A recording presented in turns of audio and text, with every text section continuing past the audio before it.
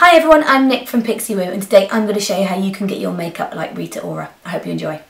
To start off with, I'm going to use a foundation that has a matte finish but quite a good coverage. I've chosen Makeup Forever HD foundation. I'm going to take a Real Techniques Expert Face Brush and just buff that into moisturised skin. Now the reason I've chosen this foundation is because it photographs beautifully. So I love this and celebrities absolutely love it as well. I've also chosen to use it with a brush that you kind of buff into the skin. That means it's going to work right into the skin and almost make it look like it's part of your skin rather than laying on top of it.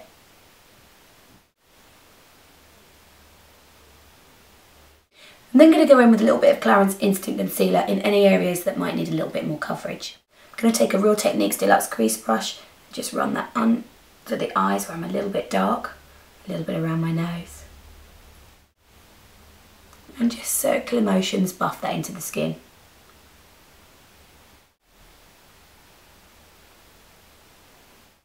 I'm then going to move straight onto the eyes before I powder the skin into place. And I'm going to take this Kiko eyeshadow. This one is called 03 Supreme and it's a cream eyeshadow. I'm going to take that on a Real Techniques base shadow brush and just work it into the eye. Best to start in the middle of the eye and then blend outwards with these products because they're cream. You want it slightly softer on the outside. And obviously wherever you place your brush first is going to have the maximum amount of coverage. I'm going to wing that out slightly for Rita. You're also going to find when using a cream product, a synthetic brush is best to use.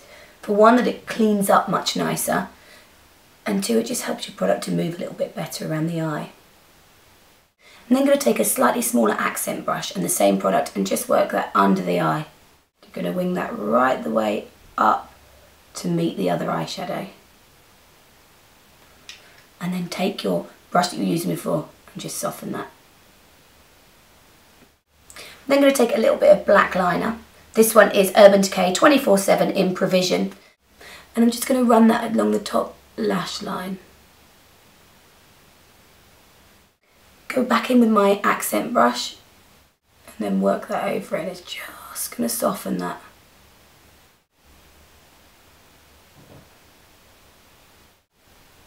So just apply and then blend. I'm then going to take some Maybelline Great Lash Mascara and apply that both to top and bottom lashes.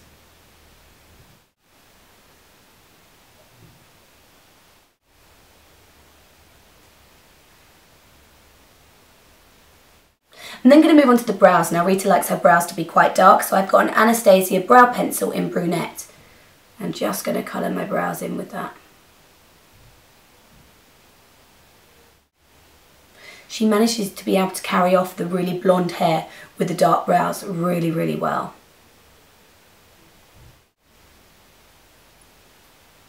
I really like a brow brush that has a spoolie on the end so I can brush it through.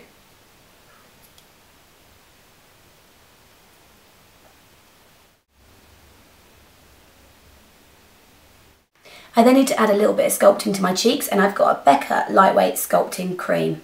I'm going to take that on a Real Techniques foundation brush and I'm just going to draw in where I want the shape. An angled brush like this just helps a little bit to get the exact line of the cheekbone. And just by turning the brush round and pulling upwards, you're just going to get a nice little bit of shading there.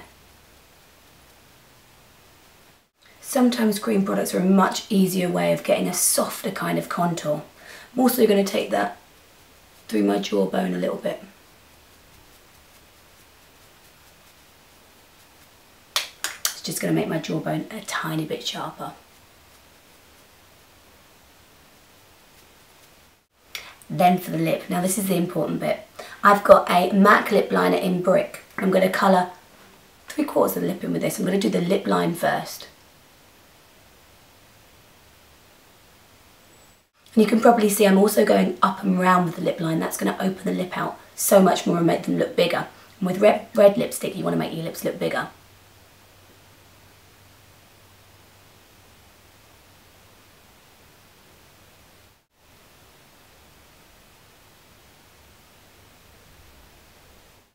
Now Rita's red lip is all about colouring and shading, so I'm going to take my brick lip liner and just colour in this corner of my lip. On both sides and the bottom bit.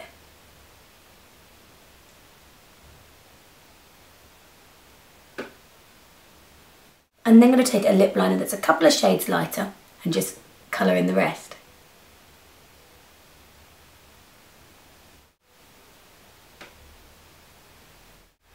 That's going to make my lips have a bit of depth and look much fuller. I'm then going to take a very orangey tone red lipstick. This one's by Estee Lauder and it's called Carnal. And I'm just going to colour in the very centre of my lip.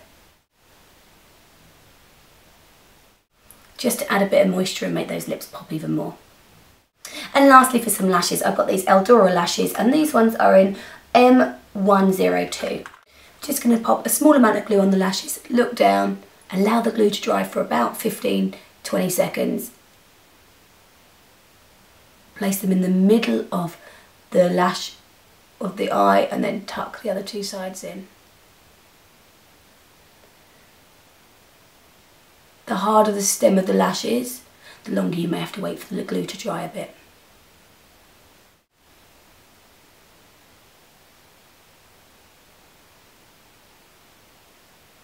I'm then going to take a lightweight powder and just powder that all into place.